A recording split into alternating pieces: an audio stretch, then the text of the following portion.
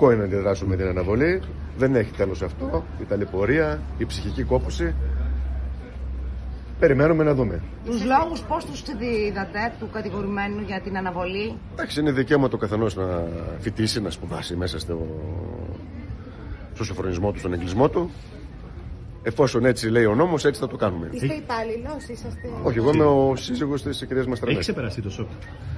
Είμαστε καλά, είμαστε καλά, είμαστε καλά. Η σύζυγός Δεν ξεχνιέται, είμαστε καλά. Η σύζυγός σας είχε τραυματιστεί; Ναι, ακριβώς.